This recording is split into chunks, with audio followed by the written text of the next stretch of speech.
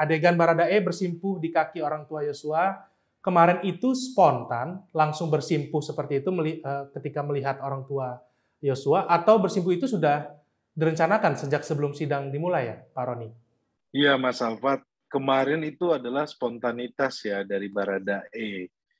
Kalau teman-teman melihat bahwa ketika orang tua dari almarhum Joshua masuk ke dalam, dalam ruangan, itu langsung disamperin oleh Baradae. Saya juga pun kaget kan. Ya.